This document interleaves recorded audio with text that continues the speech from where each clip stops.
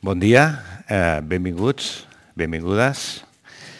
Eh, avui és eh, una jornada que parlarem bàsicament de criteris tècnics.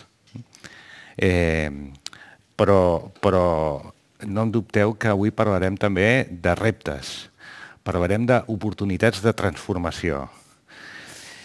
I, I tot això per què? Perquè en els darrers anys eh, les polítiques patrimonials i de workplace han sofert un significatiu procés de canvi. Canvis que són disruptius, que han propiciat una nova manera de treballar. Tots aquests canvis els intentem implementar a la Generalitat, en aquesta institució, a través de la Direcció General del Patrimoni, que, que fa molt temps que eh, estem treballant en la definició d'aquests espais. L'ordre d'optimització dels espais que avui presentarem és la materialització de tots aquests criteris i principis que caldrà seguir en les noves implantacions d'oficines. Canvis pels nous immobles, canvis de recuper recuperacions d'immobles existents o, o, o les obres en les seus actuals. Evidentment, tots aquests canvis, aquesta nova manera de treballar, ha estat possible perquè prèviament s'han portat a terme tota una sèrie de millores eh, pel que fa a l'optimització de recursos públics. Aquestes millores, els drivers d'aquestes millores són l'optimització dels recursos econòmics, l'eficiència en la gestió de les polítiques públiques, el nou model de dependències i configuració dels espais de treball i, evidentment, les polítiques patrimonials i de workplace. Com ho hem fet tot això? En tan poc temps? Mm, bueno, segurament han tingut a veure les crisis, que ens han posat tots en tensió ens hem, i ens han permès descobrir noves potencialitats i oportunitats. D'una banda, perquè l'equip encapçalat per Isabel, eh, conscient de tot aquest esforç que calia fer, ha sigut molt conscient que calia captar les tendències i aplicar-les eh? i executar-les. I després perquè també som molt conscients de que estem en un context molt variable, que ens ha, eh, ens ha calgut buscar mecanismes per gestionar riscos i, com deia abans, aprofitar les oportunitats que tenim. Eh, L'ordre que avui presentem és un resultat d'un procés llarg, de vuit anys. En, en aquest procés hem tingut dues crisis de, grans, de gran envergadura que han permès una transformació interna de les polítiques patrimonials i de workplace sense precedents. Primer, la primera, si veieu, eh, la primera, el 2012-2013, la gran crisi financera i de les finances públiques del 2000 eh, eh, va possibilitar que s'introduïssin de molt ràpidament actuacions orientades a la racionalització i optimització dels espais es va aprovar un pla de racionalització i optimització dels espais d'oficina de la Generalitat i es van fixar nous criteris de reubicació de les dependències. Ara, eh, la crisi del, del 2020, del 2019-20, ha accelerat i està accelerant les transformacions de la manera de treballar. Sorgeix amb, moltes, amb molta força el que coneixem ara amb aquest model de treball que combina la presencialitat amb el treball a distància, el model de treball híbrid. Eh, estem vivint un moment històric, sens dubte, estem vivint un moment històric. Eh, I tot i que pot haver-hi, com he dit, moltes incerteses en el futur del teletreball, eh, eh, ha vingut per instal·lar-se. Això ja no canviarà. Ara ho estava comentant. Eh, aquesta sessió eh, és una sessió que ja vindrà per quedar-se. Aquesta combinació de presencialitat, vosaltres aquí, i la resta de la gent a través de, eh, del YouTube, eh, això ja serà sempre així. A partir d'ara, no les, les sessions deixaran de ser només presencials. Eh, per què parlava de reptes? Som conscients que totes aquestes polítiques eh, patrimonials i de corporate són una palanca més de transformació de la nostra institució. N'hi ha altres, com he dit abans, eh? però aquesta és una palanca més de transformació per la nostra, que necessita la nostra organització i, en definitiva, per donar un millor servei a la ciutadania, en la que tots ens hi devem. No? Eh, com us deia, eh, això sí que nosaltres som pioners. Eh, som pioners en moltes organitzacions de molts governs. Ho hem estat mirant, però no estem sols. Hi ha altres organitzacions que també ja ho estan implementant. Tot el que ens sembla molt innovador, hi ha altres que també, potser no tan endavant com nosaltres, però també ho estan fent. I us he volgut posar, per exemple, la Comissió Europea.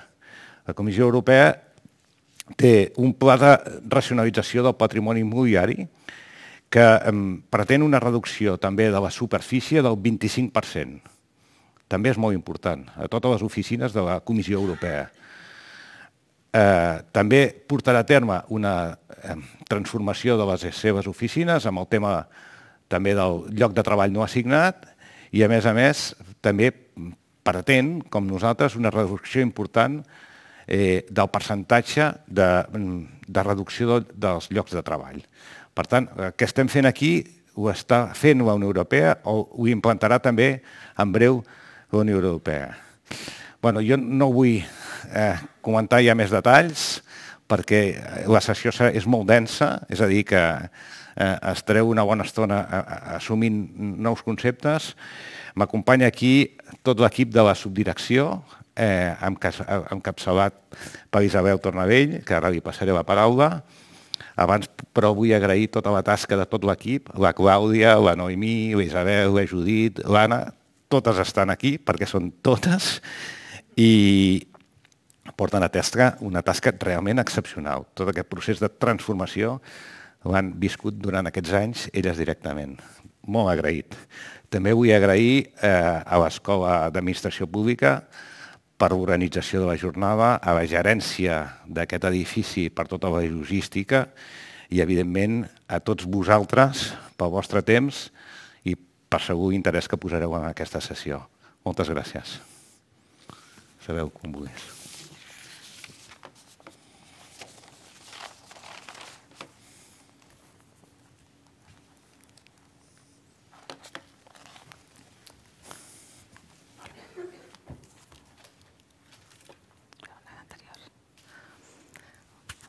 Hola, bon dia a tothom. Se sent bé? Sí. Bon dia a tothom. Eh, com deia el Josep, doncs agrair-vos aquí la presència de tots. Sabem que sou un bon nombre aquí i, a més a més, si sumem la gent que està en remot. La jornada d'avui té quatre parts, quatre parts diferenciades. Una primera part on us explicarem una miqueta com hem arribat fins a aquest model de treball nou i, i el canvi que comporta a nivell d'espais. Uh, això ho explicaré jo mateixa. La Clàudia us explicarà després els criteris de l'ordre més en detall i eh, us explicarà una aplicació pràctica d'aquesta ordre amb tres casos, tres casos diferents. Un és el districte, on estem ara, i dos edificis, que són edificis amb una implantació més tradicional, i també us explicarà com s'ha implementat l'ordre.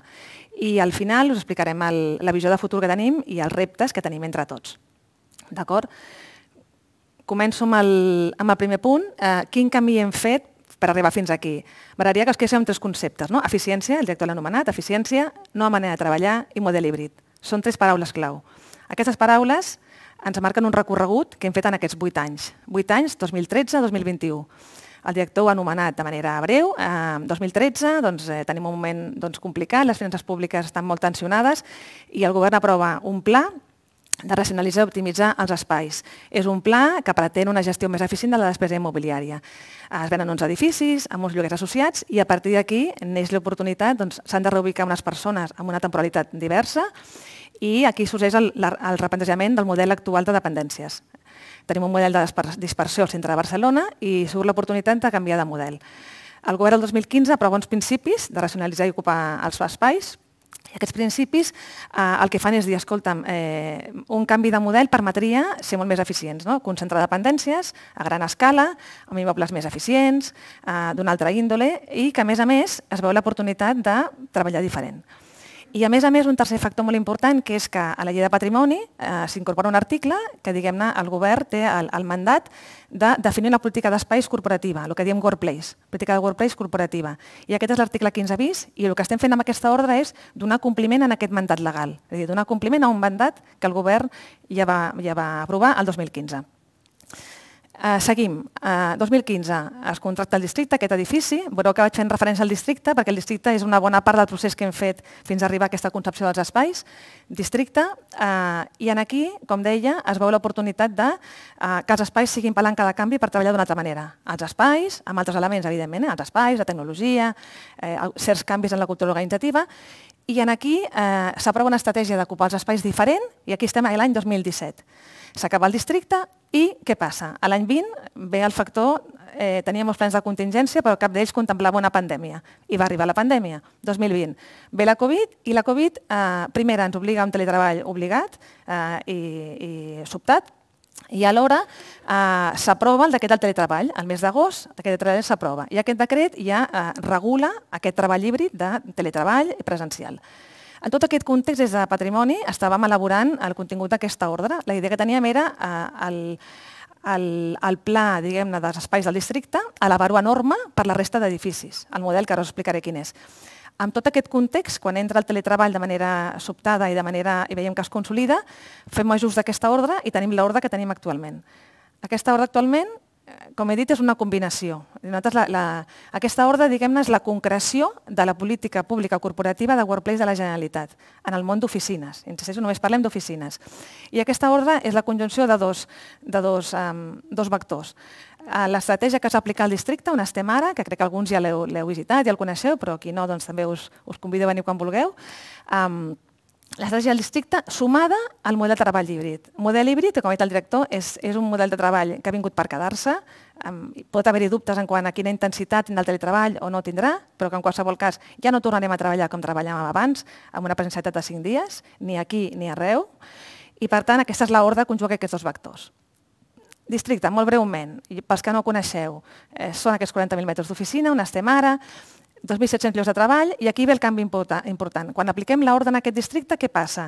Aquí tenim 2.700 taules individuals. Això estava concebut l'any 2015 perquè hi haguessin 2.700 treballadors. Això ja no serà així. En aquestes mateixes taules, això donarà cabuda a un nombre més gran de treballadors. Per què? El motiu és molt senzill. No venim a treballar cada dia. Per tant, en mateixos espais podem venir més persones amb unes certes premisses. Um, hem parlat de Workplace. Quan parlem de Workplace, a què ens referim? Ens referim bàsicament a aquests tres pilars. Eh? Els espais, que és el pilar que és de patrimoni, diguem-ne, no? som competents i el que estem treballant, la cultura organitzativa de processos, que és evidentment que té un pes, i la tecnologia. És a dir, sense aquests tres, eh, aquests tres eixos, una política Workplace no es pot portar a terme. I, en definitiva, una política de workplace què busca? Doncs busca eh, donar resposta a les necessitats de l'organització. Busca que aquella organització treballi de la millor manera possible. I, per tant, tots aquests vectors el que han de fer és ajudar a que aquella organització, institució pública, empresa privada, qui sigui, treballi de la millor manera possible.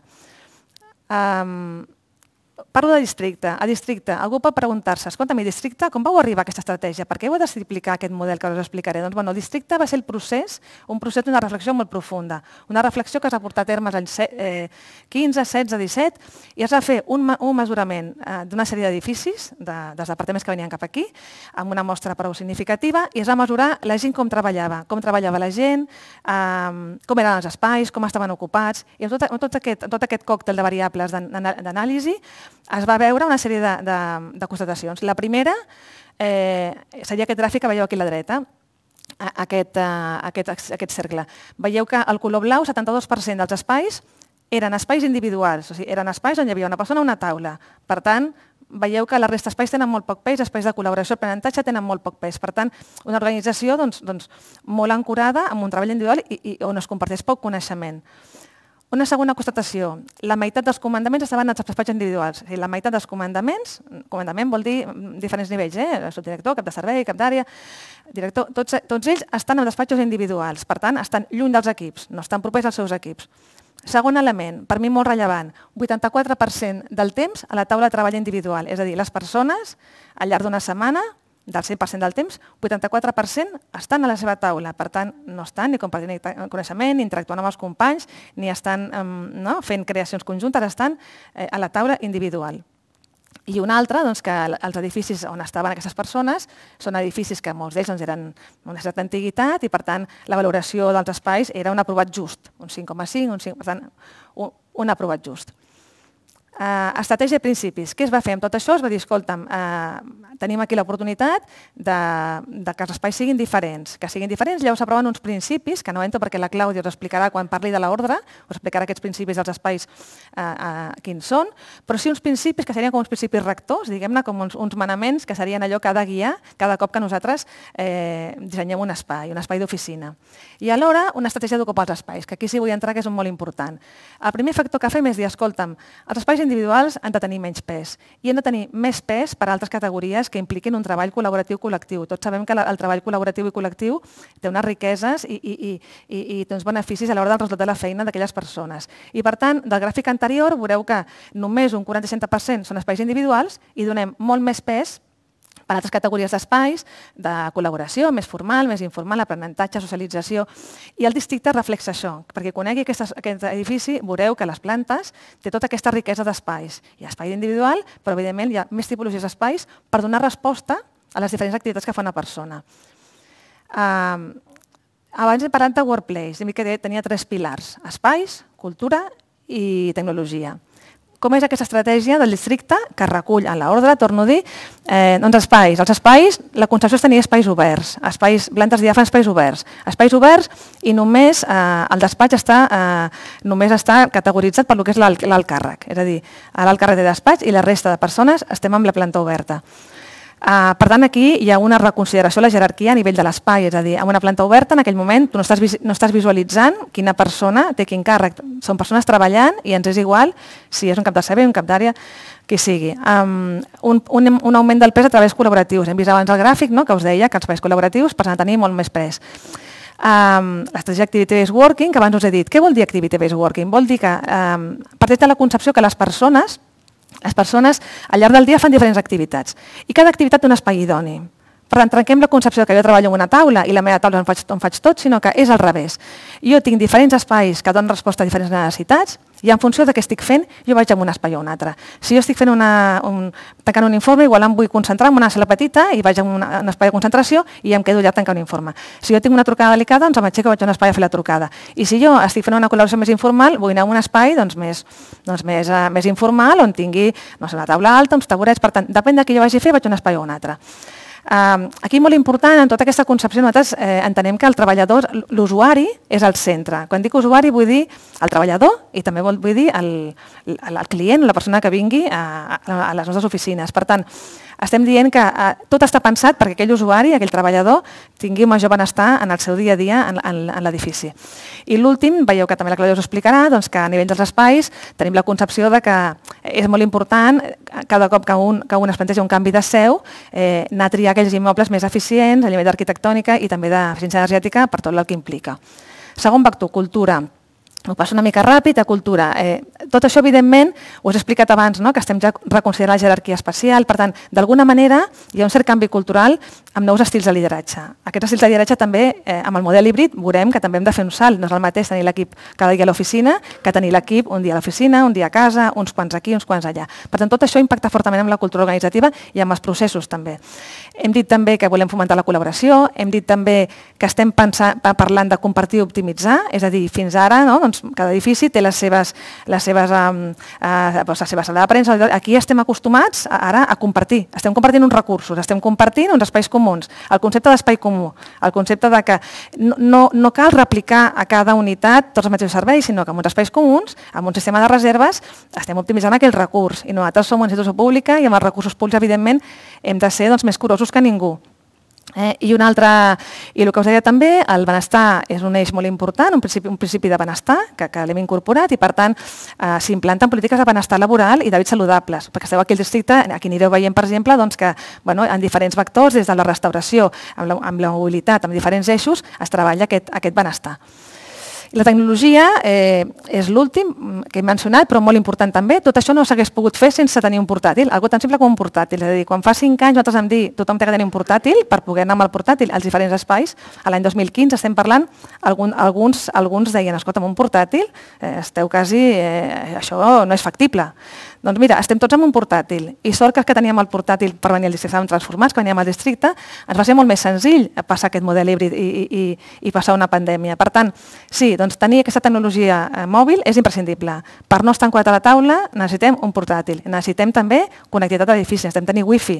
Això sembla molt, molt, molt trivial, però nosaltres veníem d'un edifici on no teníem wifi, per exemple. Per tant, si no hi havia wifi, en els altres espais, evidentment, tu no podies connectar-te a internet. Eh, tenim també eh, tenir la, la, una altra palanca també molt important de trencar és la documentació. Mentre tinguem documentació en paper, és molt difícil aquest treball híbrid, ho fa més, més complexa. Per tant, tenir la documentació al núvol, accessible, digitalitzada, és un altre vector de canvi important. I, evidentment, tot el que comporti, diguem-ne, expedient electrònic o cap a un món més digital. Uh, aquí, m'agradaria fer un petit, un, una pausa. Alguns podeu pensar, i tot això per què ho volem? No? Nosaltres per què volem eh, de Workplace? Per què hem de canviar si ja treballem, ja treballem bé com estem? Bueno, hi ha molts estudis, està molt contrastat, que l'espai de treball és important, és a dir, com, tra com treballa una persona és important. És important en molts factors, evidentment, eh? però és un factor més que és important. I està molt demostrat que una persona que està satisfeta amb l'entorn de treball, que està contenta amb l'entorn físic on treballa i amb tot l'intangible que hi ha darrere, eh, aquesta persona té un grau de compromís més alt. I la persona que està compromesa, evidentment, doncs, rendeix millor, aporta més idees, està més il·lusionada, eh, té idees noves, eh, comparteix coneixement, Bueno, per tant, és, és un vector d'aconseguir eh, persones doncs, més motivades i que treballin millor. Aquí us he posat algunes referències a com millores amb els elements físics d'un espai, no? la ventilació, amb la llum natural, amb el fet que jo vegi unes plantes a prop, eh, en fi, amb diferents factors més físics de l'edifici, com això redunda amb major productivitat i amb menys baixes laborals, però també podríem citar exemples més intangibles que també està demostrat que, que repercuteixen en major satisfacció del treballador. Uh, us he dit abans, l'ordre, política de workplace corporativa, dos vectors, districte i model de treball híbrid. Us he explicat la primera part, anem a la segona part, model de treball híbrid. Què entenem per treball híbrid? El director abans ho ha comentat. Treball híbrid és aquell treball que tenim dos, dos potes, no? el treball presencial en una oficina i quan diem el treball en remot no té per què ser a casa. Pot ser en un lloc que no és l'oficina. Pot ser a casa, pot ser en un altre seu de la Generalitat, podria ser, no sé, en un altre espai. Aquest treball híbrid eh, tenim dos models d'oficina. Una oficina presencial, com la que teníem abans, pre-Covid, diguem-ne, no? la majoria de, de nosaltres, una oficina on no hi ha teletreball i jo cada dia em desplaço. No? Aquí teniu, diguem-ne, una mica caricaturitzada el que és la seqüència d'una persona. No? Em desplaço cada dia, vaig a l'oficina, faig un treball individual, em, em faig una pausa, faig una reunió presencial, em torno a treballar individual bueno, i al final del dia me'n vaig a casa tindríem el model híbrid, que tenim dies A i dies B. Dies A que jo vaig a l'oficina i, i, i faig el mateix que abans, però tinc algunes reunions que ja són híbrides, tinc gent a casa i tinc gent a l'oficina, per tant, els espais han de canviar, si no, no podré donar resposta a aquella reunió que és híbrida. I tenim un dia B on jo estic a casa i aquell dia doncs, faig tasques més individuals. El concepte quin és? Quan vaig a l'oficina, el més idoni és allà fer les tasques que requereixen dels companys, que requereixen doncs, parlar amb el teu cap, parlar amb el teu equip, una cosa que fas entre dos, un projecte compartit, una persona a l'altra unitat que tens un tema pendent a resoldre, mentre que a casa eh, és un espai on jo tinc menys interrupcions i, evidentment, feines individuals les puc fer molt bé. Individuals o col·laboracions eh, virtuals que no requereixin aquell cara a cara, aquell tu a tu que, que, que, que té altres connotacions diferents.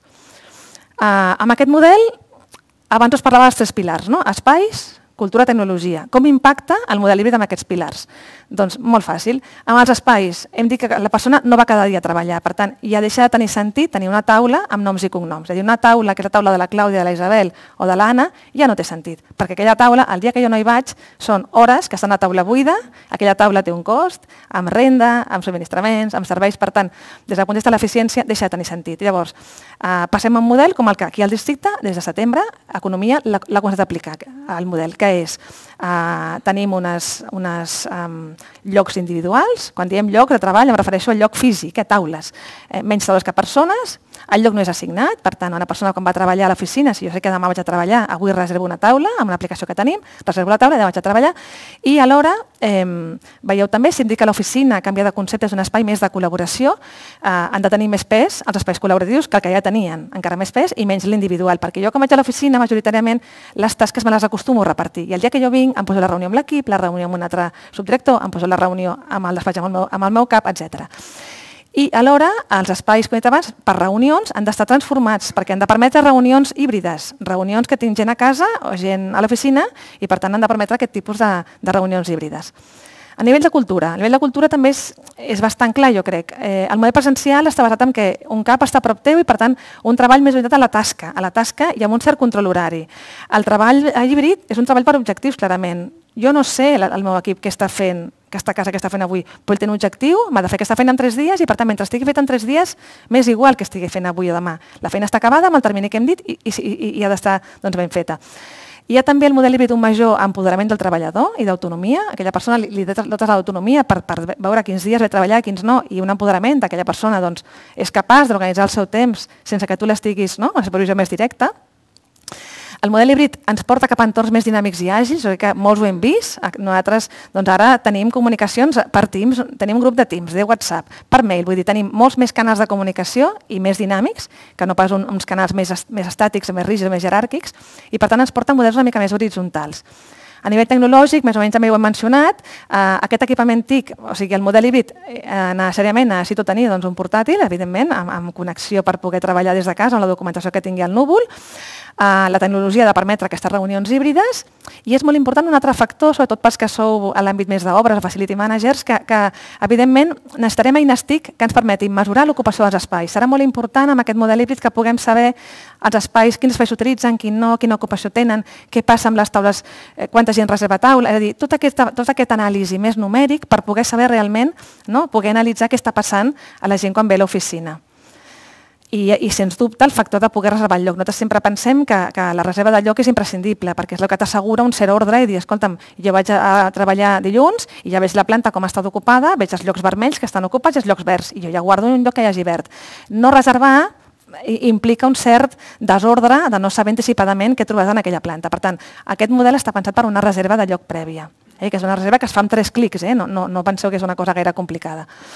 Um, el director ho ha mencionat, no? al principi, amb aquest model híbrid és una oportunitat per transformar. Hem vist com pot transformar els tres pilars, com transformar espais, cultura i tecnologia.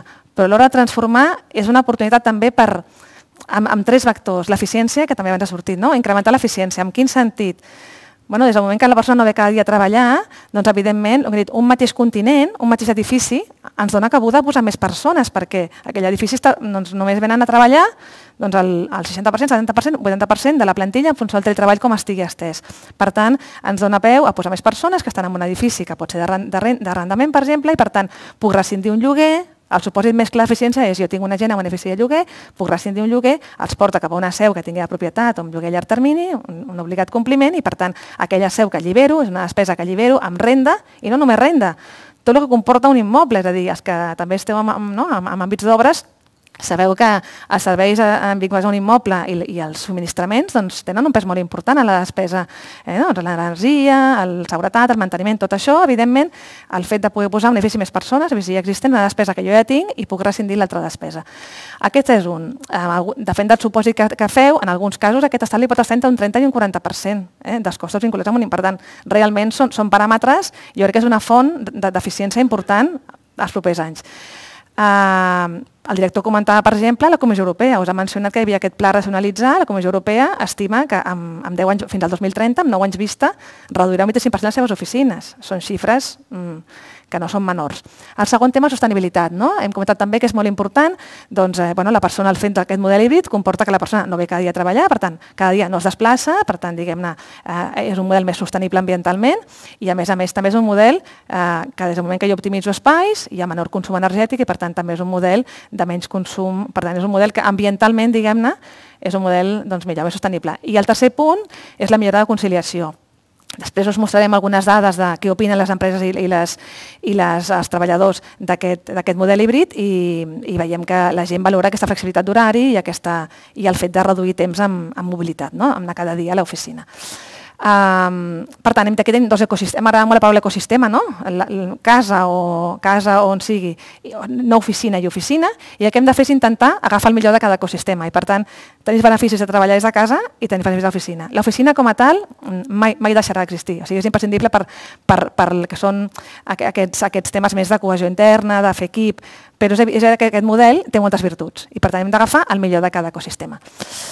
L'oficina, que té un paper, abans ho hem comentat, no? té un paper diferent, eh, amb un estudi recent de, de, Boston, de consultora, Boston Consulting Group, que ens deia, no? raons per anar a l'oficina. Doncs raons per anar a l'oficina, compartir temps amb els companys, treballar en equip cara a cara, eh, amb més agilitat, que a través d'una pantalla, aprofitar millor sessions de formació, aprofitar tecnologies que no tinc a casa. Per tant, l'oficina com a tal no deixarà d'existir, però amb un paper diferent. Això és la, la, la visió, diguem-ne, la visió compartida amb, tota la, amb els experts que es dediquen a aquest món de Workplace. Un altre tema. Hem parlat de cultura, hem parlat de com, com a través de l'espai i d'aquest model estem canviant eh, elements més intangibles. Nosaltres creiem que la proposta valor a l'empleat canvia, canvia. És a dir, amb un model híbrid aquest empleat té més autonomia, té més empoderament, eh, té flexibilitat, però alhora mm, necessitarà uns espais transformats, necessitarà tecnologia diferent, també necessitarà tenir una oficina on tingui noves dinàmiques i on pugui realment venir a fer aquesta connexió que li falta al treballar des de casa o aquest sentiment de pertinença i de compromís. Per tant, pensem que el que és l'eix, el que oferim amb un treballador quan ve, eh, canvia amb el model presencial i amb el model híbrid. I a nivell d'espais, que és la part que ens pertoca, eh, doncs hem de modificar coses. Eh, aquesta diapo per mi em sembla molt, resumeix molt bé el que, el que hem parlat fins ara. No? jo partia, de, partia, o encara estem així en molts edificis, no? Això és el partida, un lloc individual, assignat, tothom té la seva taula i té despatx diferents col·lectius, alguns responsables, subdirectors, caps, en fi. I una taula, una persona. I espais de col·laboració no, no, tenen, no, no tenen un pes eh, excessiu. Uh, per tant, jo treballo en espai individual al meu despatx. Passem a l'estratègia d'activity-based work, el que abans hem dit. Segons el tipus de feina que faig, vas d'un espai o un altre. I aquest és el model que hem fet aquí districte. Jo treballo amb els 40.000 metres. Sempre dic, jo no treballo a la planta cinquena, jo treballo amb els 40 metres del districte. Avui treballo a la cinquena, demà faig una reunió aquí, ara estic aquí, per tant, jo treballo amb tot l'edifici. El concepte treballo amb tota la planta o l'edifici. I el model híbrid és treballo a qualsevol espai, qualsevol espai, i aquí el gran canvi que hem dit de que el lloc és no assignat i més taules que persones, i, i el pes dels espais col·lectius més, més, molt més pes. D'acord? Um, com està el model híbrid de la Generalitat? Una enquesta que vam fer aquí al districte, treballadors del districte, el mes de març, preguntàvem quanta gent, aquí som 2.300 persones, 2.200, quanta gent volia seguir teletreballant. 96% van dir que volien seguir teletreballant i d'aquests, 91% es volien acollir els 3 dies, que és el màxim que aquí tenim permès durant temps transitori. Llavors, eh, per tant, el teletreball mm, ha vingut per quedar-se. O sigui, aquesta, aquesta constatació és la prova de que la gent vol seguir teletreballant. Al món privat estem en índexs molt similars. Eh, estem aquí 85% de persones volien teletreballar dos o tres dies. També veieu aquí una gràfica interessant que la Clàudia em farà èmfasi després, que és que la distribució per dies és molt desigual, és a dir, no és el mateix la gent que vol teletreballar, la gent prefereix teletreballar a les puntes de la setmana, dilluns i divendres. Per tant, de cara a optimitzar l'edifici des del punt de vista de gestió de l'edifici, veiem que haurem de fer alguna manera per poder equilibrar aquests fluxes i no tenir tres dies amb una punta molt gran i dos dies més baixos aquí un repte també. Valoració de l'experiència. No entro perquè vaig una mica curta de temps, però bueno, bàsicament el model híbrid dels empleats els ha agradat, bàsicament eh, agrada pel tema de la conciliació i flexibilitat, eh, consideren que, que no els afecta el rendiment i que en cas d'un canvi de feina fins i tot prioritzarien una feina amb major o sigui, amb teletreball incorporat i major flexibilitat eh, davant de salari, que s'ha de veure que és, és rellevant, i tenen un estalvi mig mensual pel fet de la despesa de mobilitat que, que, que redueixen. També l'empresa, doncs, 71% d'empreses, és una feta a, a Espanya, amb eh, 71% d'empreses volen implantar aquest model híbrid i pensen, les empreses pensen que l'oficina eh, hi ha de ser perquè el treball només en remot sí que perjudicaria doncs, diguem la feina de les persones i l'estat mitjà que té una empresa per aquesta persona que no ve, que, que no ve diàriament i permet gent. Model híbrid, bueno, si mireu la premsa, cada setmana, si poseu al Google buscador model híbrid, cada setmana tenim articles, cada setmana. Per és un model que s'estén arreu i jo crec, com deia el director, estem en un moment històric, històric de veritat, des d'un d'aquests espais, històric, amb un canvi d'aquests sense precedents um, algunes dades d'empreses, diferents empreses que, que eh, doncs Bayer té tres models de treball, treball híbrid, que s'hi han acollit 90% dels empleats, treball majoritàriament oficina 1%, i, i treballa en remot només 9%. Per tant, el, el model híbrid està clar. El mateix també té Everis. Bueno, alguns exemples, algunes empreses han tirat més cap a només model, híbrid, model remot, és a dir, serien empreses tecnològiques o sectors més, no? més disruptius, com pot ser pues, Travel Perc o la POP, però que el model híbrid ha vingut per quedar-se. Quedeu-vos amb aquest missatge. I jo ara amb aquesta, ja passo la paraula a la Clàudia, que us explicarà el que és el contingut de l'ordre pròpiament dita i tot el, tot el detall.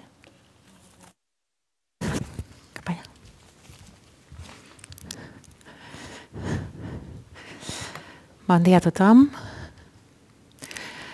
Jo us detallaré una mica el, els articles de l'ordre, que és el que ve a dir aquesta ordre. Um, recuperem aquí la primera diapositiva de la Isabel Tornavell. Eh, com us deia, teníem un mandat legislatiu de l'any 2015 en el qual eh, es va modificar la llei del patrimoni i es va introduir l'article 15 bis que ens instava a introduir, a aprovar mitjançant una ordre els criteris d'ocupació i les tipologies d'espais d'immobles d'ús administratiu. Vam començar, com us deia, també vam començar a treballar aquesta ordre l'any 2019 i ens vam trobar l'any 2020 que estàvem desenvolupant una ordre amb uns criteris i amb una estratègia que venia del districte administratiu eh, i ens vam trobar confinats i amb la pandèmia, la qual cosa doncs, ens, va, ens va portar a replantejar aquesta ordre i a plantejar-la amb una ordre amb el model d'oficina híbrida, que és el que us comentava la Isabel. L'ordre aplica a tots els departaments de l'administració de la Generalitat i al sector públic, tots els immobles només d'ús administratiu i quan aplica? Aplica cada cop que fem una contractació d'un nou immoble, ja sigui en arrendament o en compra, quan es recupa un immoble, i per reocupar un immoble volem dir un immoble que ja és de la Generalitat i que passa a reassignar-se o adscriure's a un altre departament. Per tant, entenem que hi ha un trasllat també s'aplicaria en qualsevol moment que hi hagi una reforma o una rehabilitació que impliqui un canvi en la distribució del, de l'edifici i que, i que per tant podem aplicar bastant dels criteris de distribució interior. Els criteris n'establim tres tipus. El primer tipus és el criteri que veieu aquí en taronja, els de distribució interior relatius a la configuració de l'espai d'oficina, el, el, segon, els segons criteris són els criteris arquitectònics i d'instal·lacions relatiu a l'immoble, com ha de ser un immoble d'oficines, i un tercer paquet de criteris d'estalvi i eficiència energètica que també afecten a tot l'immoble. Tots aquests criteris, juntament amb el procediment de com s'ha d'acreditar i com s'ha de fer aquest procés, us l'explico, us l'aniré explicant a continuació en la, en la presentació. Bé, l'ordre s'estructura amb aquests quatre apartats, una finalitat principis, àmbit d'aplicació, els criteris d'aplicació i finalment el, quins són els procediments i les excepcions. La finalitat eh, principal, com vegeu, és assolir una major eficiència, contribuir a les noves maneres de treballar, no m'estenc perquè crec que la Isabel ja us l'ha explicat prou bé, i incorporar o promocionar un model corporatiu més equitatiu per tota la Generalitat de Catalunya. Tenim altres finalitats específiques, veieu aquí llistades, que totes giren una mica a l'entorn dels tres eixos o els tres pilars que us comentava la Isabel. L'organització, les persones, bueno, les persones i els espais i la tecnologia. Organització i persones, disculpeu, tecnologia i espais. En l'ordre s'estableixen 10 principis, es poden agrupar els dos primers principis, salut i benestar i equitat, on posen el focus a les persones, al benestar de les persones. Un següent paquet de principis en el qual um, es mesuren els espais, com han de ser aquests espais perquè estiguin adequats a les noves maneres de treballar, han de, ser, han de fomentar la col·laboració i la transversalitat, han de ser variables i flexibles i amb una disposició de planta oberta. Uh, L'edifici, els edificis han d'estar adequats a l'ús administratiu, eficients i transmetre uns valors institucionals adequats. Per últim, el pilar de la tecnologia. Sense un equipament tecnològic adequat no és possible tenir o adequar-se a les noves maneres de treballar. L'àmbit d'aplicació, com us deia, són els eh, edificis d'ús administratiu o els immobles. I per immobles entenem qualsevol ens eh, immobiliari. Pot ser tot un edifici, un immoble, però també podria ser una planta o un local, qualsevol entitat sobre la qual la, la Generalitat hi tingui un dret jurídic en immobles d'usos mixtos, en els quals hi ha l'ús administratiu, però també tenim usos finalistes dirigits al ciutadà, com podria ser una oficina d'atenció al ciutadà o, o alguns jutjats que tenen part de jutjats i tenen part administrativa, eh, no aplicaria l'ordre quan l'ús finalista és majoritari, ocupa més de la meitat de la superfície d'aquest immoble. En canvi, si aplica l'ordre, quan aquest servei finalista és minoritari, aplica en la zona d'oficina, no en la zona de l'ús finalista. El, els criteris, a més a més, apliquen segons el tipus d'immoble. Un immoble de nova ocupació entenem que ha de ser, hem de ser el màxim exigents possibles, per tant li exigirem tant els criteris de distribució interior com els arquitectònics com els d'eficiència energètica. Eh, en els, criteris, en els immobles que es reocupen o es reformen, només es demanen criteris de distribució anterior i si la reforma és eh, integral o és una reforma que afecta les instal·lacions de climatització o façana, sí que es demanen els criteris d'eficiència energètica.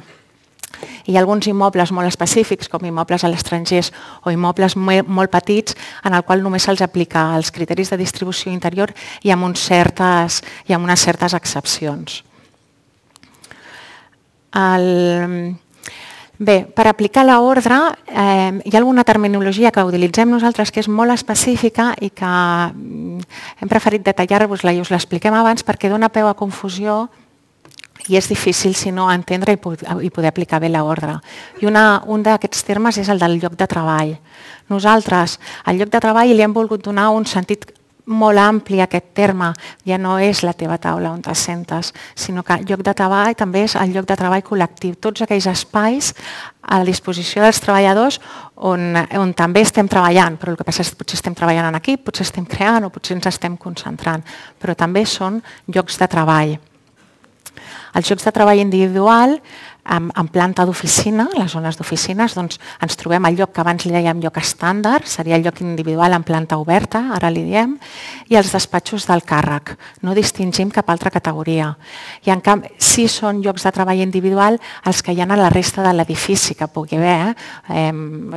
els festius recepció, eh, registre o servei mèdic, per exemple de llocs col·lectius, el que volem és que a la planta d'oficina, a prop del treballador, hi hagi una gran varietat d'espais col·lectius, després els mencionem, i evidentment també hi ha altres espais col·lectius de suport a tots els treballadors. Ara, ara ens trobem, no? un auditori seria un espai col·lectiu o, o un restaura, restauració. L'únic que només comentar-vos que l'ordre no fa menció a aquests espais perquè entenem que les casuístiques o les necessitats d'aquest tipus d'espai col·lectiu de suport de tot l'immoble són difícils de, ens, ens, ens, han sigut difícils de regular, no les necessitem. Per tant, per entendre'ns, no hi ha cap article de l'ordre que t'estableixi o que et defineixi quin tipus d'espais col·lectius de, generals hi ha d'haver. Ens focalitzarem més, més aviat en els col·lectius de la planta o de la, de la planta d'oficina. Um, aquí hi ha un exemple, aquest és un edifici que s'està treballant, és un edifici um, en xanfrà, a l'Eixample de Barcelona.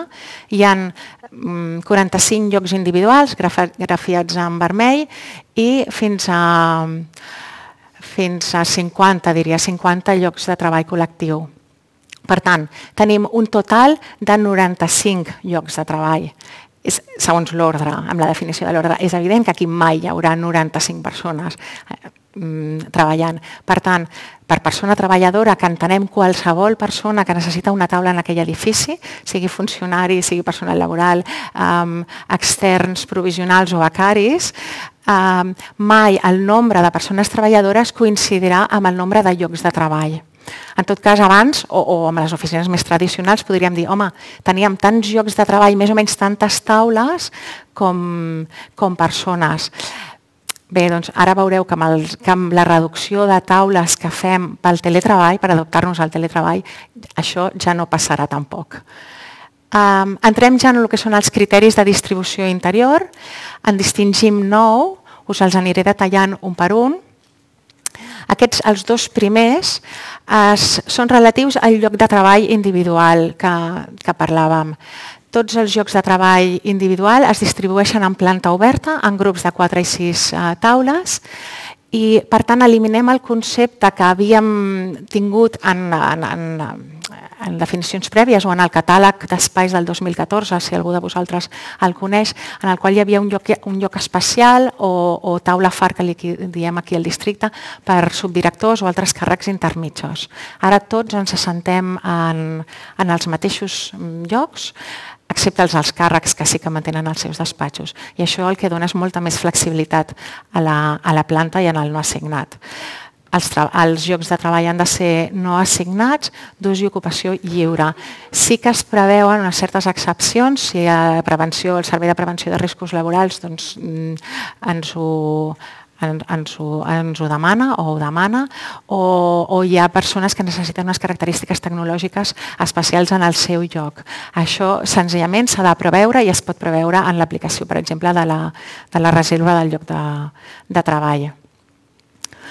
Aquest anterior, aquest punt que hem vist, va estretament relacionat amb aquest següent, en el qual demanem que hi hagi menys taules que persones. Això, com us dèiem, senzillament és per caçar, per intentar que l'ocupació que se'n faci d'un edifici es coordini o es concordi amb la capacitat d'aquest edifici i no tenir edificis mig buits.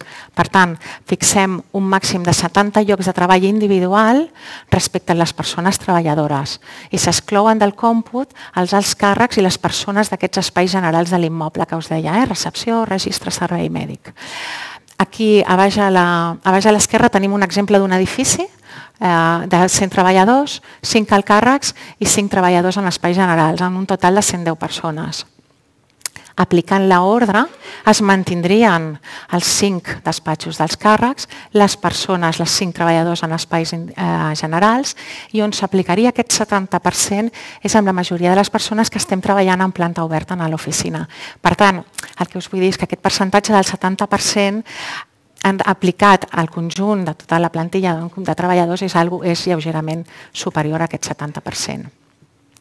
Quins factors ens, porten, ens han portat aquest 70%? Teníem diversos estudis realitzats. El primer va ser l'any 2017, una consultora, mentre estaven fent, decidint l'estratègia d'espais del districte, una consultora va visitar eh, cinc edificis de tres departaments diferents durant diversos dies i, amb, i a diverses hores fixades. El resultat d'aquesta anàlisi de camp, diguéssim, de les taules va ser que el 32,5% de les taules estaven desocupades. El, paral·lelament, al 2019, es va fer un altre estudi de tots els fitxatges realitzats a 13 immobles de tres departaments, eh, en el qual els resultats són els que veieu aquí. Tenim també que un fitxatge bastant, bastant homogeni, un 73,7% de fitxatges de tota la, respecte a tots els treballadors. Per tant, més d'un 26% dels treballadors puntualment i en alguns dies no van a treballar per motius diversos o perquè eh, estan de vacances o una reunió fora, formació o, o baixes o també baixes laborals. Ui, perdoneu, m'he anat. A part d'aquests dos estudis, hi ve efectivament el, el factor teletreball, eh, que a partir arrel del decret 77-2020 de funció pública i, mm, i també, com veiem, eh, propulsat per la pandèmia, hem, ha vingut per quedar-se. El teletreball, per treure'n dades concloents, és difícil. Tot just ens acabem d'incorporar a partir del setembre, per tant, no, no, no tenim res en concret per dir sí que, sí que sabem que hi ha tres factors que són absolutament importants i cada organització i que definiran fins a quin punt aquest teletreball es pot, i aquesta reducció de taules es pot acabar d'implantar. El primer seria els dies de teletreball presencial, més enllà dels dos que tenim nosaltres, del tres que té la majoria de treballadors en altres immobles, um, doncs un treballador pot necessitar-ne més o menys um, en funció de, de les seves necessitats. El tipus d'ocupació, si és més o menys regulada, de manera que es vinguin tots els dies o no es venen tots els dies o es deixa a funció del treballador d'escollir. I el perfil de treballadors. Sabem que hi ha unitats o altres organismes que els quals és molt difícil implantar o és més difícil implantar el treball que en altres que tenim més un treball de back office, diguéssim. Aquests tres factors són factors que poden ser coneguts. El decret 77-2020 ja ho diu, s'ha de fer un pla de teletreball. Per tant, a l'hora de, de fer o d'estudiar una aplicació de l'ordre, podem arribar a saber quina és la presencialitat dels nostres treballadors.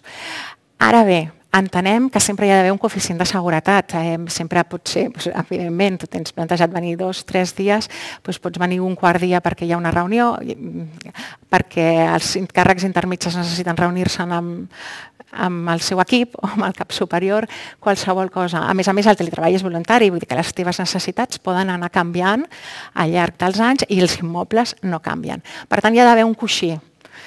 Aquí us ensenyo ara aquestes imatges, aquesta de la, bueno, la de baix a l'esquerra seria una mica en gris, l'atac en gris representa l'immoble, les columnes eh, en groc l'assistència dels treballadors en aquest immoble diària, la primera, el primer gràfic representa una mica la voluntat que us comentava la Isabel, no? de quin, vam preguntar als treballadors quin dia voleu venir, pues la majoria de la gent dimarts, dimecres i dijous, bueno, també, però poca gent vol venir dilluns i divendres.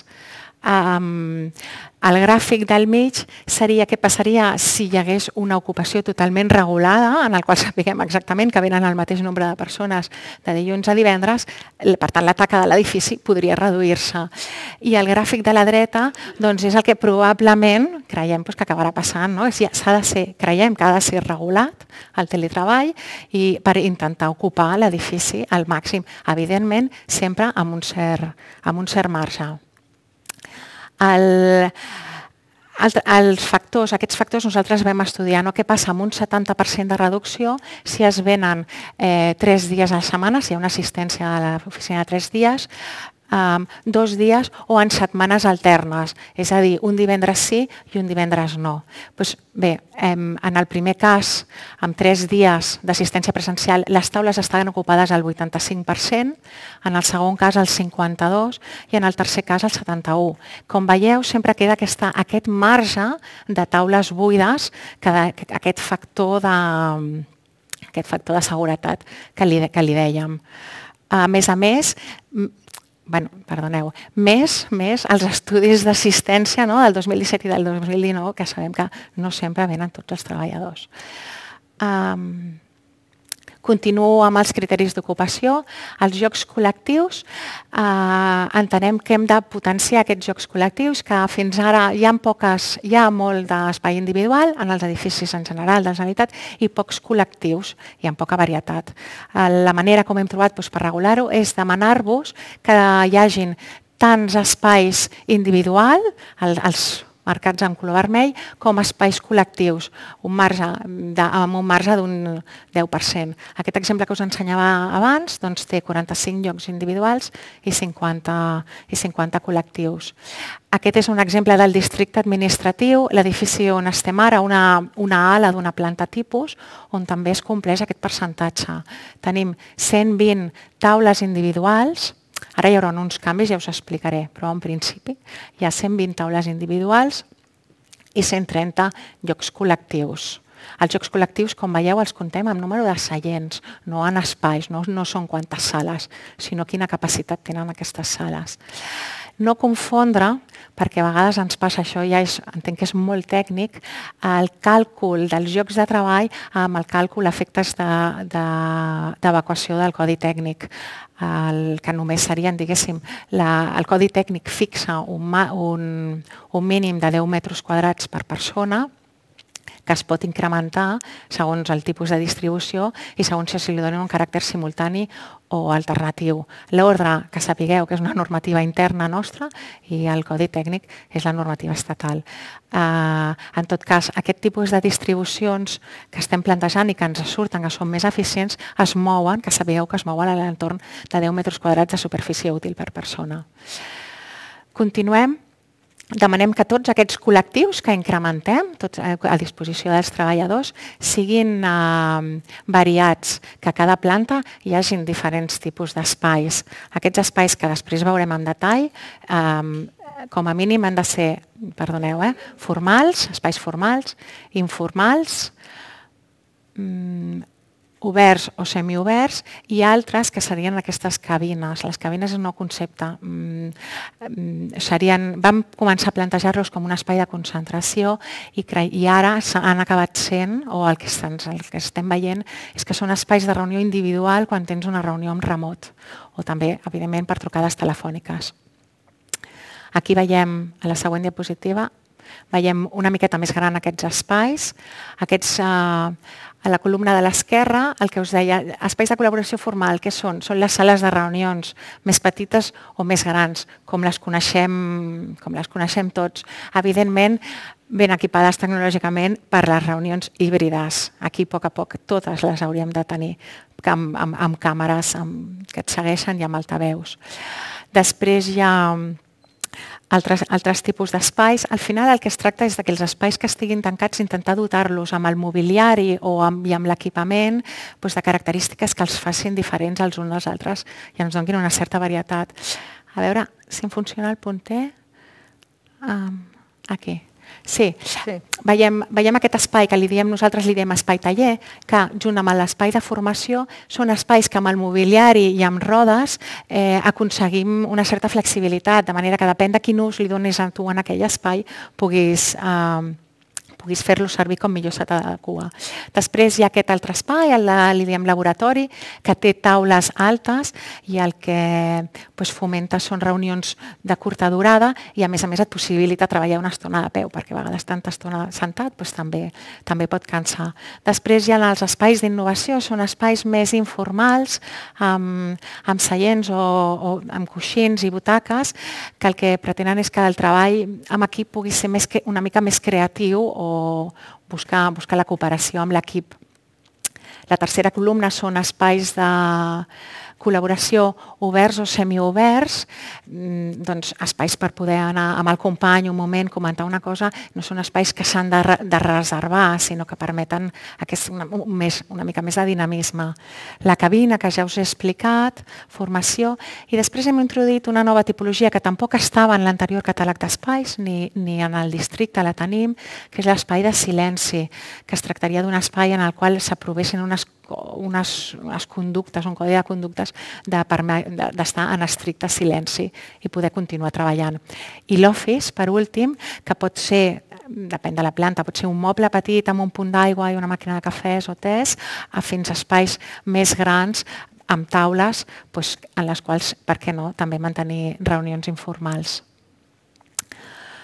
Passo... Mm, tots aquests espais, com us deia, són els que demanem que estiguin al costat o molt propers als diferents llocs de treball, a diferència dels espais generals de l'edifici. També establim una ràtio d'ocupació màxima, això vol dir, segons la superfície de l'edifici, el gran que és aquell edifici, ha de tenir uns mínims de, uns mínims de taules i ha de, hem de garantir que estigui distribuït d'una certa manera. Aquest ràtio es fixa per edificis nous en 17 metres quadrats per lloc de treball individual, ja no parlem de persones, parlem de llocs i de taules, per edificis reocupats o reformats hauríem d'estar en, en, en, en ràtios inferiors als 19 metres quadrats per lloc de treball i en edificis um, amb murs de càrrega, que entenem que són menys eficients, fins a 25 metres quadrats per lloc de treball individual. El, fins aquí el que hem dit del lloc de treball, això és com una mica recopilatori. Hem dit que segons la mida de l'edifici, segons si és més gran o menys gran, ha de tenir un número mínim de taules. I després sabem que aquestes taules, o llocs de treball individual, han de garantir que hi hagi un 30% més de persones. Per tant, mm, tenim dues vessants, que ens, que en, dos factors que són molt importants el que són els estalvis de, de i l'eficiència dels edificis. Aquest seria un exemple d'un immoble, un immoble actual, amb una ràtio de 1 a 1, lloc de treball per persona, i 24 metres quadrats per persona, que és més o menys el que la mitjana de tots els immobles de la Generalitat en dades del 2019. Què passa si aquest immoble aplica l'ordre? fa una distribució més eficient.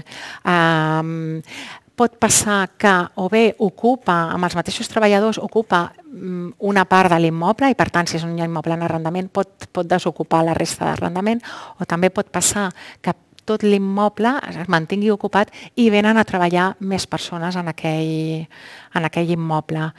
El, com, com us deia, els estalvis són molt importants segons diferents estudis és evident que si és un immoble que rescindeixes que és de lloguer o és de propietat, doncs els estalvis varien, però tota la despesa recurrent, que serien subministraments, neteja, manteniment i vigilància, pot arribar a, a, a comportar un estalvi entre el 30 i el 45%.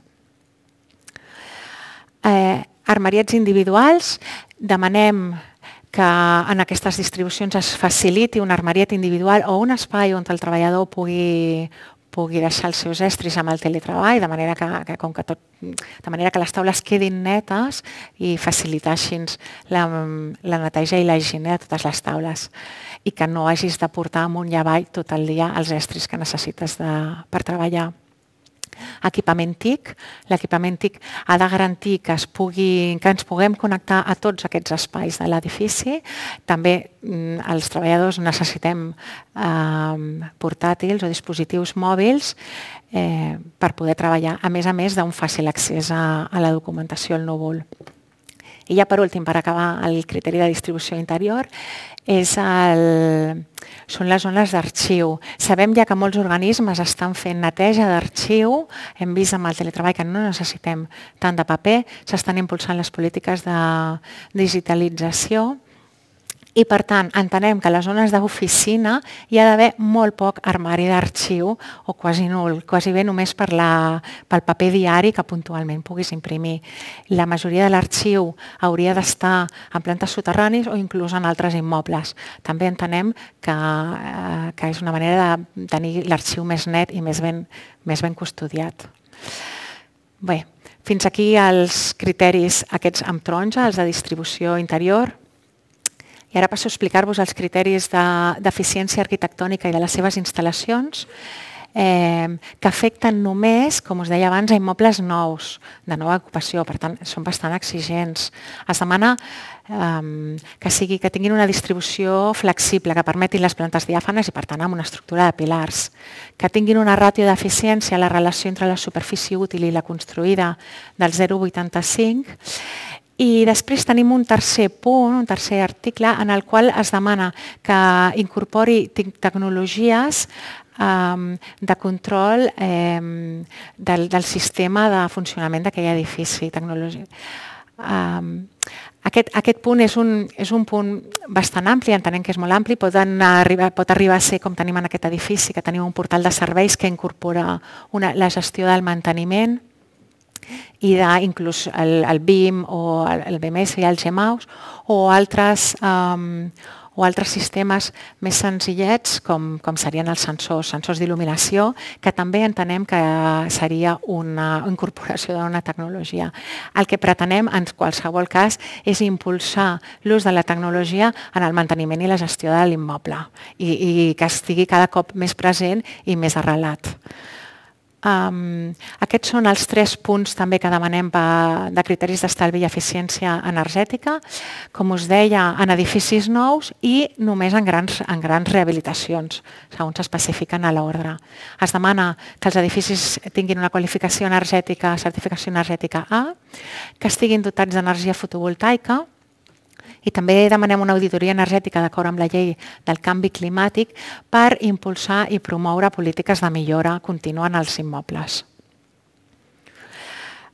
Um, evidentment, entenem que les casuístiques tant d'immobles com de necessitats com de tots els organismes són uh, molt difícils de, de, de, de, com, com seria formalitzar en una ordre i per tant tenim unes excepcions que estan tipificades, són aquestes sis a les quals eh, pues, eh, pot acollir qualsevol persona eh, bueno, o qualsevol organisme que entengui que hi ha algun punt de compliment de l'ordre que no, no pugui complir. Un d'ells, el primer és a les limitacions del mercat immobiliari. Mm, fora de Barcelona pocs edificis tenen plaques fotovoltaiques. Per exemple, aquest seria eh, un, un exemple de limitació del mercat immobiliari. No, no, es pot, no es troba en edificis nous amb plaques solars.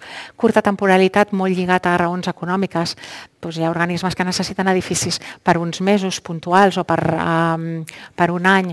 Tampoc, tam, també podrien eximir-se d'alguns punts d'aplicació de l'ordre impediments de caràcter tècnic, bé, necessitats funcionals i grau d'implementació del teletreball, el que hem dit doncs, segons el tipus de necessitats dels treballadors.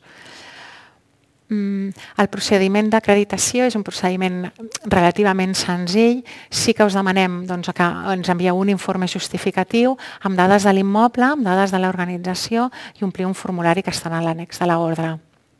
A partir d'aquí, en l'inici de l'expedient, es demana l'entrega d'aquest informe i des de la Direcció General del Patrimoni s'emet resposta en els uh, següents 15 dies. Um, comentar-vos potser que en el, en el primer cas, en els immobles de nova ocupació, en els immobles nous, potser si es liciten en concurs, és evident, hi ha paràmetres que no són coneguts, però senzillament el que demanem és que en els plecs de licitació sí que s'incorpori la voluntat de que aquell edifici pugui arribar a complir els paràmetres i si posteriorment es fa un projecte d'adequació o de distribució interior, aleshores sí complir els paràmetres de l'ordre. Paral·lelament a l'ordre, Um, nosaltres estem treballant un catàleg d'espais, ens trobem doncs, l'ordre, al, al final són disposicions normatives, hi ha molts altres uh, recomanacions de disseny que hem volgut recollir i que estem treballant que breument uh, publicarem. Si algú de vosaltres coneix el catàleg del 2014, aquesta és una versió ampliada i millorada i adequada com a mínim a l'oficina híbrida. També incorpora unes fitxes, igual que el catàleg del 2014. Aquesta seria la fitxa d'exemple del, lloc de treball individual, on, on aquí a la dreta, a veure, el punter, bé, la columna del marge de la dreta bueno, donem, donem pistes de quin tipus de mobiliari és l'adequat per aquell espai i quin tipus de tecnologia també es demana. I aquesta això ho hem parlat amb el CETITI i de les diferents sales de reunions i de punts de connexió. Entenem que és un document molt d'ajuda a tots aquells que treballeu en el, en el disseny dels immobles d'oficina. I fins aquí, fins aquí l'explicació de l'ordre. Ara us explico aquests tres exemples concrets d'aplicació de l'ordre que, estem, que estem portant a terme. Espero que l'ordre quedat clara. El primer exemple és el de, que estem portant a terme aquí, en aquest edifici del districte administratiu. A, a l'esquerra podeu veure un, un esquema del, del complex. No? Es tracta de dos edificis amb un total de 2.300 treballadors i 2.700 llocs de treball. Ara tenim un cert marge de creixement. Hi ha un projecte en marge, en marge que encara s'està definint, que vol reorganitzar, apliquem el no assignat, de manera que s'alliberin fins, a, fins a tres plantes per noves unitats que puguin venir de fora. Eh, quedaríem, hauríem, quedaríem amb 3.000 1.100 treballadors i 2.450 llocs de treball individual. Els um, reduïm una miqueta perquè considerem que hi ha una planta que necessitem més espai col·lectiu per reunions, que segurament um, s'anirà treballant i acabem de definir. El que sí que hem fet ara és la primera, una primera fase, podríem dir, d'aquest projecte i som nosaltres, el Departament d'Economia i Hisenda, que fins ara estàvem ocupant tres plantes i mitja ala, el, les veieu allà a la, a la secció de la dreta, a veure, aquí, la secció de la dreta, tres plantes i mitja ala, i passem, hem passat a ocupar, perquè nosaltres ja, ja hem aplicat un no assignat, les dues plantes superiors. Per tant, hi ha hagut una reducció eh, substancial dels llocs de treball que ocupàvem. Això ha comportat uns certs canvis en, l'espai, que us els passo a detallar, amb una distribució tipus a l'esquerra, el que teníem, aquí hi havia una sèrie de taules d'agrupacions de quatre taules i teníem aquests, aquestes taules individuals que veieu aquí grafiades, que són els, el que li dèiem llocs fars, eren taules assignades als subdirectors. Aquestes taules el que hem fet eh, les hem eliminat, les hem, eh, les hem substituït per agrupacions de quatre taules i per tant tenim aquelles taques roses que veieu al fons que són espai, de moment, que tenim un espai lliure de més. Aquí es veuen les imatges, una taula individual del lloc far que teníem doncs, al juliol i el que tenim, el que ens hem trobat ara quan hem tornat a treballar, un grup de quatre taules, de manera que hem, hem guanyat en flexibilitat en les plantes. Què ens ha passat també? Ens ha passat que al, al, restringir-nos a les dues plantes, alguns llocs col·lectius que teníem, aquestes dues sales de reunions que veieu grafiades en roses, han, eh, han passat a ser despatxos del, del càrrec. Per tant, hem reduït eh, lloc col·lectiu, que no ens agrada perquè, com us dèiem, intentem que la proporció sigui del 50-50, per la qual cosa probablement, i s'està treballant, no, no, no ho sabem del cert, però aquest espai lliure que quedava, que us he comentat abans, intentarem posar cabines i sales de reunions segons veiem com va evolucionant i quan, quan acabi el, el període de pandèmia. Dir-vos que, a més a més de les mesures d'espais, doncs tenim altres mesures, tenim un aplicatiu de reserva de llocs que està incorporat en el portal de, de serveis de l'edifici. S'han determinat, doncs, per exemple, que l'antelació de la reserva del lloc de treball és de 7 dies com a màxim i amb el límit especial de les plantes d'economia amb la quarta planta que tenim encara de buffer, ara després us ho explico, podríem tenir, evidentment, tot l'edifici, però com que és un, és un procés per, per fases, de moment ens movem per les plantes d'economia i mesures organitzatives, bueno, cada direcció general ha hagut d'establir els seus torns. Són torns bastant estrictes en aquests moments perquè estem, estem encara amb, amb les mesures Covid i com veieu en aquesta planta ens assentem encara a Portell o, o que es deia abans el Tres Bolillo. Per tant, a més a més de la reducció d'espai que hem fet de passar a ocupar només dues plantes, tenim el 50% dels llocs de treball disponibles només, no ens assentem a les altres taules. Bueno, la qual cosa fa que, fa que ara encara de moment és, és difícil treure conclusions i veure fins a quin punt doncs ens funcionarà, ens funcionarà el, el no assignat. Um, aquest és un exemple del, del Departament d'Educació, les companyes d'Educació que estan aquí ens han passat, ens han facilitat el, el seu projecte. Aquesta és la, la planta, la distribució inicial, també és un, és un projecte que l'han portat a terme ara durant l'estiu, tal com estaven al juliol, com veiem les taques vermelles, que seria el lloc de treball individual, um, són predominants. La taca vermell fluix, el, el individual en planta oberta, i el vermell més fort són els despatxos, amb poc, amb poc espai uh, col·laboratiu. Van iniciar un procés de transformació que va començar per la neteja de documentació i un cop han tingut això han pogut portar a terme durant el mes de, d'agost una sèrie de moviments que els ha portat a tenir aquesta situació actual d'avui en dia. Com veieu, eh, la taca vermell fort dels càrrecs s'ha reduït a un despatx del càrrec.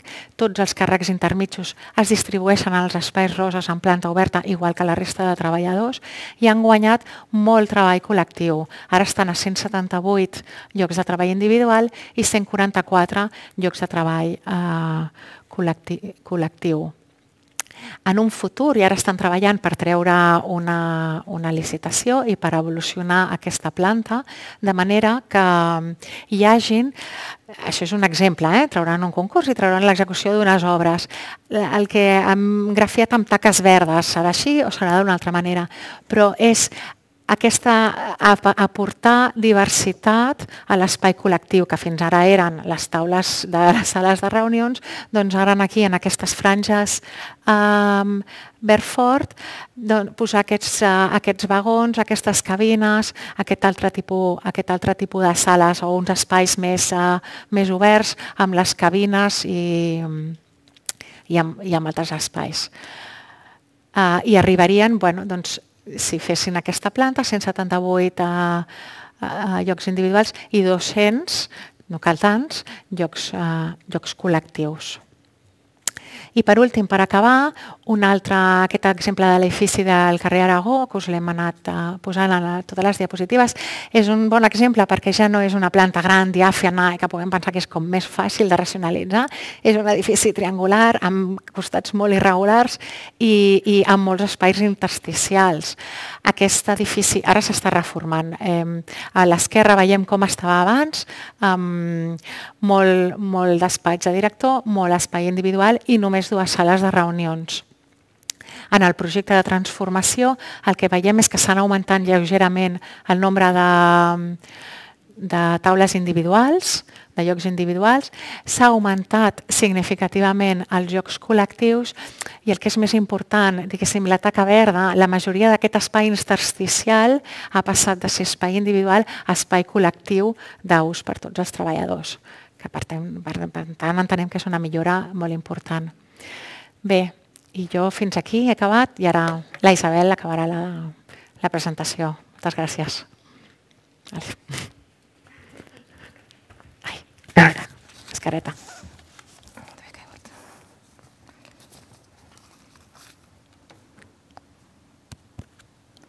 Molt bé, Clàudia, gràcies. Bueno, crec que la Clàudia us ha explicat amb molt detall l'ordre, amb exemples. Aquest material veig que algú feia alguna foto, el teniu a disposició a la, a una, a la intranet i a més, per tant, no, no us preocupeu que podreu, podreu tenir l'opció de mirar-ho tranquil·lament perquè entenem que és molt dens i molta informació en poca estona. Bé, per acabar, futur i reptes. Eh, abans ja us dèiem, no? el model híbrid eh, es consolida com que és una, una opció que creiem que es queda. Un estudi recent que, que s'ha fet a més a més a, a Espanya, per tant no estem parlant d'un entorn llunyà. Uh, ai, què passa? Ja està, perdoneu. Uh, un estudi recent de Boston Consulting Group, que s'ha fet a, a, a Espanya, eh, se li pregunta a les empreses quina intenció tenen respecte al model de treball al, fins a l'any 25, és a dir, com s'imaginen que estaran a l'any 25, per tant d'aquí 4 anys, no, no immediatament. I tenim aquest 65% que aposten pel model híbrid. Model híbrid entenem com teletreball dos o tres dies.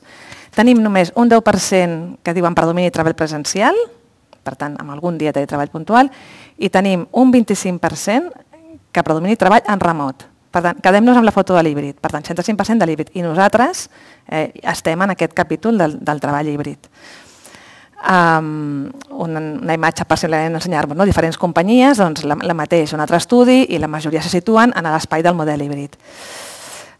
El mateix estudi ens explica quines, eh, a l'any 2025, per tant en un futur doncs, bueno, no, no, no immediat, però sí no gaire llunyà, com seran les oficines. No? I veieu que els diferents tipus d'espais són justament les que l'ordre hem recollit, és a dir, amb això que us vull, espais de cocreació, de col·laboració, de connexió, de concentració, d'associació. Per tant, què us vull dir? Que la nostra ordre ja és una ordre futurista, és una ordre que ja enllaça amb els espais que, que, que vindran en aquestes oficines del futur. Per tant, ja, ja estem, diguem-ne, que hem sigut d'alguna manera eh, com a administració pioners, sens dubte, perquè jo crec que a nivell d'altres països jo crec que estem més avançats i, i a nivell comunat amb l'Estat segur, però que a més a més, diguem-ne, ens estem anticipant a aquestes oficines que vindran. Que vindran no? Um, els canvis amb els espais. Jo us estic dient tota l'estona que, evidentment, eh, l'oficina ha de canviar perquè les necessitats han canviat. No? L'any 2020, a finals del 20, quan encara la, la pandèmia era més, era més forta, es va preguntar a les empreses què, què penseu que passarà quan passi la pandèmia. No? I, evidentment, hi havia diferents eh, respostes relacionades amb hi haurà menys viatges per feina, hi haurà menys reunions presencials, però el tercer element que es menciona és els espais de treball s'hauran de reformar o redissenyar. Per tant, hi ha aquesta consciència que els espais s'han de redissenyar. A la dreta també veieu doncs, quan d'aquestes empreses, la meitat d'elles, un 57%, ja estan revisant les, les seves oficines, estan revisant els seus espais com els el reformen. I a més a més, el 60% d'elles estan potenciant els espais col·lectius. Per tant, la línia que estem seguint ja és la línia, eh, la tendència que s'està seguint. I fixeu-vos molt important a l'últim que quasi un 100%, un 97%, es plantegen adoptar entorns de treball més compartits. Què volem dir? Doncs que allò que ha signat té sentit quan jo veig cada dia a l'oficina. És que no vaig cada dia, els, els espais eh, eh, són compartits perquè els recursos eh, eh, no? han de ser optimitzats. Factors claus per implantar. Alguns d'aquí direu, si està molt bé, la teoria està molt bé, l'ordre mm, està molt bé, però tot això com ho faig? No? Jo torno a la meva organització i jo vull endegar aquest canvi. I jo soc, estic a l'àrea d'obres, estic a l'àrea de règim interior. Com ho faig? No? Una miqueta recomanacions que us donaríem per l'experiència nostra d'aquí de districte, de portar a terme la transformació d'uns edificis d'origen doncs, amb una manera de treballar i uns espais diferents en aquí i ara el salt que hem fet en el model híbrid, com deia la Clàudia, de l'economia hem implantat ja el lloc no assignat. No? Evidentment, doncs, bueno, hi ha d'haver un suport evident i clar de l'alta direcció. No? Si no hi ha un convenciment sigui del gerent de la vostra entitat o, o del conseller o, o de, de la màxima, màxima, màxima òrgan d'aquella organització, és difícil aplicar aquests canvis. No? Suport de l'alta direcció i, a més a més, una alineació del comandament intermig, que al final aquest comandament intermig és la persona que ha de no, portar els equips i, i ajudar que els equips transmetre aquesta visió als equips. Uh, el gestió del canvi, molt important, al final aquests projectes són, són, són de persones, i jo sempre dic que no són projectes immobiliaris ni d'edificis, són de persones, i les persones doncs, tenen uns costums, uns hàbits, i, i costen de canviar, i per tant hi ha un acompanyament, una comunicació molt ben feta, fer-los partíceps i una gestió del canvi doncs, realment des del primer moment. No? Um, per implantar un model de treball híbrid, evidentment, ens cal una confiança en la persona. Si nosaltres tenim certes... que la persona, si està a casa, si no treballa, què fa, evidentment, amb aquestes mm, reticències, és molt difícil implantar-ho. Per tant, eh, cal aquest, aquesta confiança i aquest empoderament de la persona i aquesta autonomia que li estem donant. No? Evidentment, cal recursos per fer la transformació, però a vegades mm, els canvis que, els exemples que explicava la Clàudia, en algun d'ells s'ha fet doncs, amb pocs recursos, per tant, no es tracta tampoc de tenir uns recursos eh, molt elevats, ni, ni es tracta de tenir la visió de cap on volem anar i, evidentment, a vegades amb pocs, amb pocs recursos econòmics es poden fer canvis molt rellevants i, i, i de molt impacte. Um, tenir un equip executor proactiu i molt entusiasta, en aquest cas, doncs, en els tres casos que parlava la Clàudia, no? el tercer encara no és realitat, però els primers dos, tant educació com, com aquell de cita, doncs, l'equip executor complia aquesta premissa i, i si, si no és, és molt complicat fer aquest tipus de canvis i, evidentment, nosaltres aconsellem un enfocament gradual que vagi acompanyat d'avaluacions, no? anar fent canvis, d'economia ara hem fet aquest canvi d'economia, ara avui justament bueno, ahir vam llançar un qüestionari que s'ha preguntat a les persones doncs, diferents preguntes per veure com havia funcionat, què, què, què, bueno, què, què els hi costa, si la reserva no va bé, si va bé, com troben l'espai, si troben dificultats per accedir a algun tipus d'espai, per tant una mica conèixer què està passant i a, i a base d'avaluacions anar fent ajustos i anar avançant, no? no un canvi sobtat, sinó un canvi més gradual.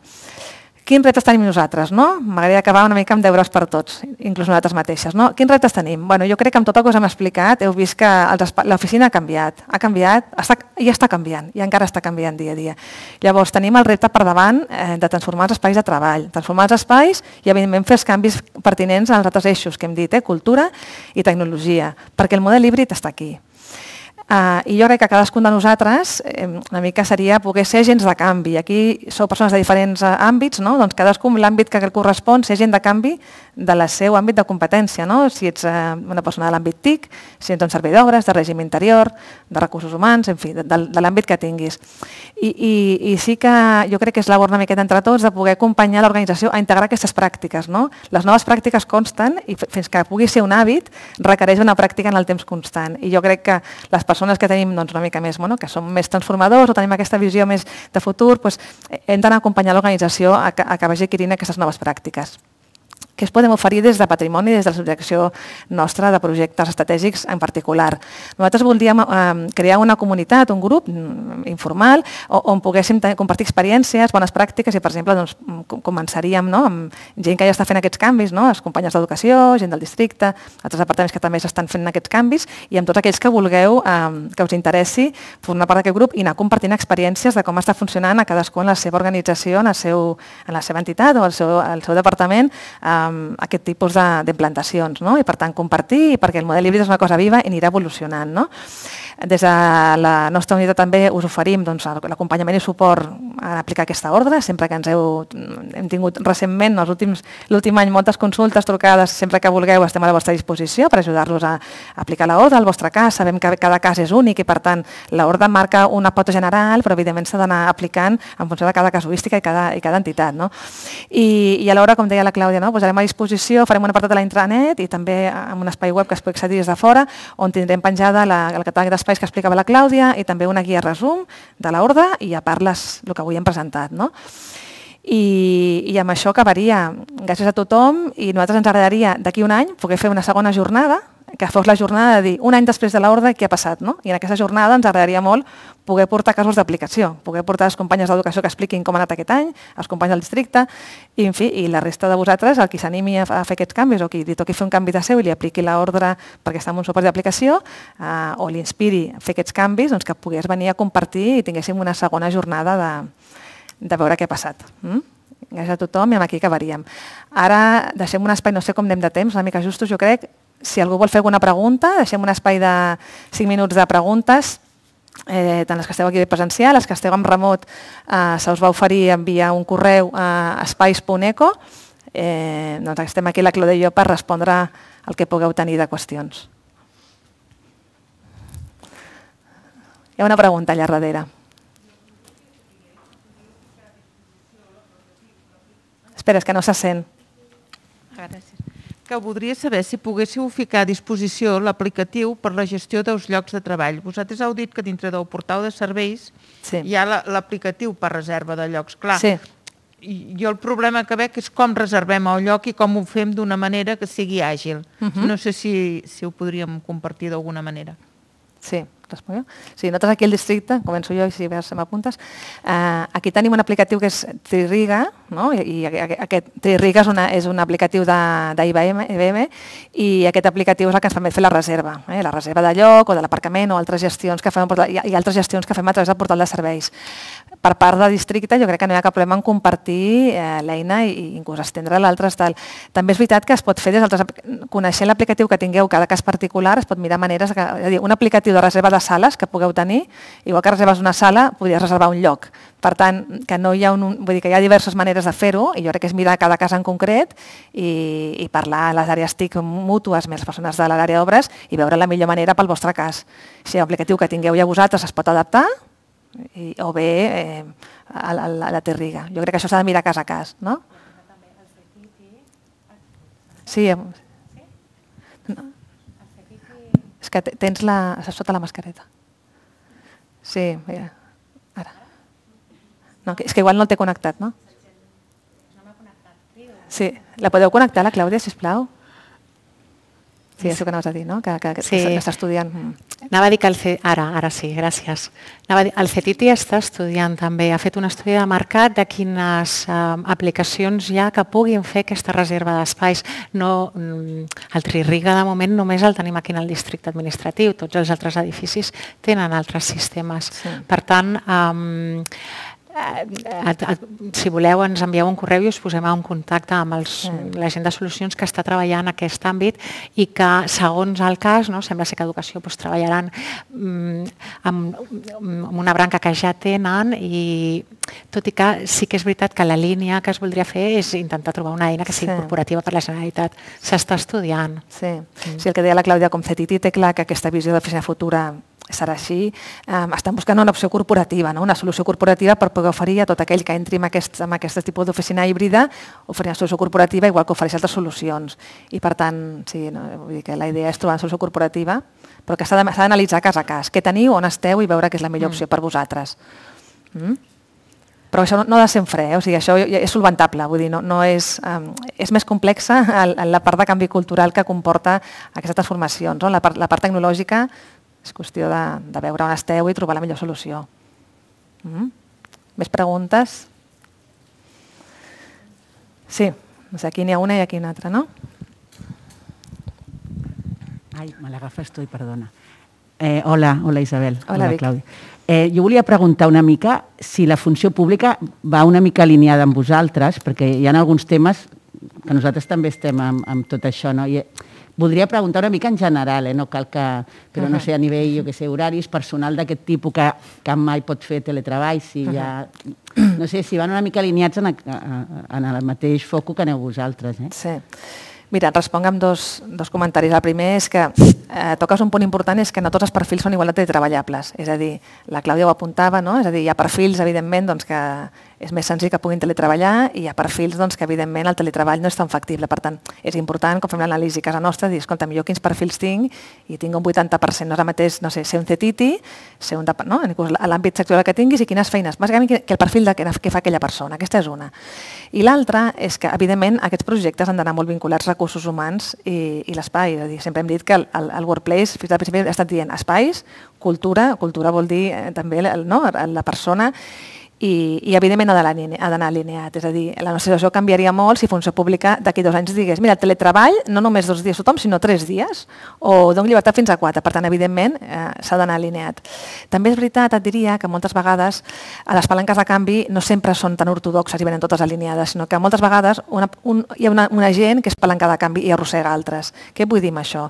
Districte, per exemple. Jo crec que el canvi, de districte, o sigui, el canvi que va passar aquí a districte i el canvi del 21 no hagués arribat de manera ortodoxa lineal. La punta que ensenya el director, no? Per què va arribar? Perquè dos grans crisis s'accegen i fan que hi hagi un salt qualitatiu.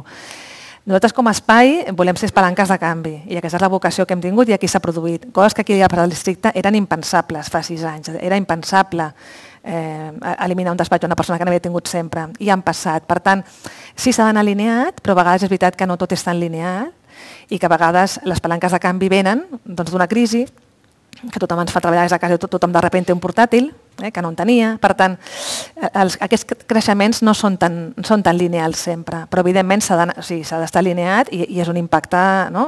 evidentment, el teletreball, el com es reguli i com acabi, impacta de ple els espais i per tant, evidentment, eh, ha de ser una, no? una política eh, que ha d'estar en consonància, sí, sí.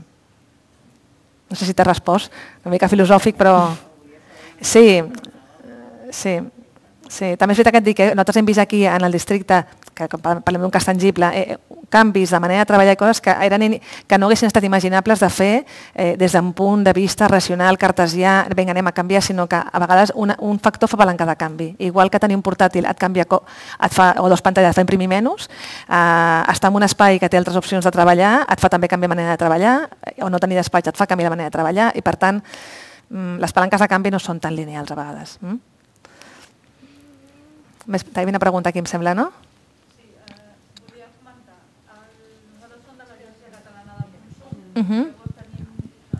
Perdona, eh? i ens pregunten sovint quan començarem a, a reservar llocs de treball. Si sabeu, teníeu alguna data... Sí. El que sí sabem és que, bueno, això és una pregunta més concreta no, del cas aquí, però sí, aprofito i te la contesto. El que sí sabem és que el, a principis de novembre es començarà amb justícia, fer l'economia va començar el primer, començar el primer, estem fent aquesta enquesta que us he dit, mirarem si hi ha algun tema que es pot ajustar per millorar, i, i sabem és que a, a finals d'any estarà tot l'edifici ja amb aquest canvi fet. Eh? O sigui, començarà a fer justícia i el calendari exacte vostre no el sé, però serà, doncs, si a principi de novembre, doncs estem parlant de que abans de, entre novembre i desembre. Es farà també aquesta extensió de, de el, el nou model, diguem-ne, de, de el, el, subdirector de tenir un lloc específic i, i, i l'espai és no assignat, tot això es farà aquí districte, a finals d'any estarem tots amb, amb el nou model. Sí, perfecte. De tota manera, a través del, a través del vostre director de serveis, del, de, del departament de... Ara sou, sou empresa, no, vosaltres? Empresa, eh, cada setmana fem unes reunions específiques i us aniran concretant les dates a mesura que, que hi hagi més concreció. Per tant, no patiu que s'ha de comunicar bé la gent, s'ha d'explicar bé, per tant, sí, sí. Mm? No sé. Sí, sí. No sé si, si no hi ha cap pregunta més aquí. No hi ha més preguntes? Tenim, tenim un correu electrònic que ens ha arribat. Bé, més aviat és un, és un comentari, més aviat que no, que no una pregunta, sí. que ens, ens felicita per l'esforç que s'està fent en redissenyar... Però les... si, és que no, ens costa, ah. no? Potser per... Ens, aquesta persona sí. ens felicita per l'esforç que estem fent en redissenyar les oficines, però eh, comenta, eh, ningú no pensa en comprovar i redissenyar els nostres habitatges o és que es pensa que els dies de teletreball hem d'anar a coworkings? Uh -huh. Sí, jo, bueno, no sé. Jo, jo crec que és una qüestió que si nosaltres que, que, com que ens apassiona aquest tema anem seguint què passa en fora i és veritat que Uh, si jo he llegit premsa recentment, s'hi expliquen els estudis que hem estat uh, consultant que aquest canvi de les oficines té un canvi paral·lel amb els, espais, els espais, és a dir, la gent demanda espais, habitatges diferents, hi ha hagut un cert moviment inclús de persones que anaven a, no, a anar, volen anar a viure en entorns doncs, més, no sé, més a prop de la natura, perquè si no venen cada dia a treballar a Barcelona i tal, i a més a més els, els habitatges Eh, la gent demana habitatges una mica més grans, perquè hi ha gent que no tenia un espai de despatx incorporat al seu habitatge com a espai estable. I si ara la persona es dedica a treballar a casa seva dos dies o tres dies, doncs evidentment potser l'espai del com té ara no... i les immobiliàries sí ens comenten que hi ha peticions d'habitatges diferents. I la gent, igual que demanda habitatges amb més eh, doncs amb més, eh, més, eh, més a la natura o més amb, espa, amb, llum, amb llum, si demanden habitatges que tinguin una quarta habitació o una tercera habitació, una tercera, no? a, a, a, estança on, on poder posar realment el, el un despatx estable, no un despatx puntual. Per tant, sí que també, que tot està concatenat. No? Per tant, el canvi d'oficina també comporta, evidentment, un canvi d'habitatges, eh, un canvi d'habitatge, per, perquè realment s'acull aquest model. Sí, sí. Sí, Exacte. Sí, per tant, la persona que vol teletreballar és perquè, bueno, si vol fer-ho, des de, torno a dir, des de casa, perquè podries... El treballar en remot no sempre és des de casa, el treballar en remot pot ser des d'un altre, un altre lloc que no és l'oficina, la oficina d'assignació. La persona que ho fa és perquè voluntàriament li, li, li agrada aquesta modalitat perquè sempre té l'oficina on anar-hi. Eh? Per tant, l'oficina la té sempre per anar-hi. I si vol teletreballar és perquè li compensa per factors que hem comentat, no? perquè redueix desplaçaments, perquè eh, doncs concilia millor, pel motiu que sigui. Per tant, sí, sí, però vull dir que aquest canvi, per això dic que és un canvi, un canvi històric. Històric perquè afecta a, a la residència on vius, afecta no? inclús on decideixes viure, eh, i on, i on, no? on vius i on treballes. No? Per tant, és un canvi molt important. Jo volia fer una pregunta. Sí, us heu plantejat també eh, això que deies del coworking, no? que realment no hi hagi una assignació per departaments i que si jo visc aquí prop pugui venir a treballar aquí al districte encara que sigui d'un altre departament? Sí. I l'altre sí. és això que deies de verdificar i tal. No hi ha ni una reserva d'espai verd o de zona de...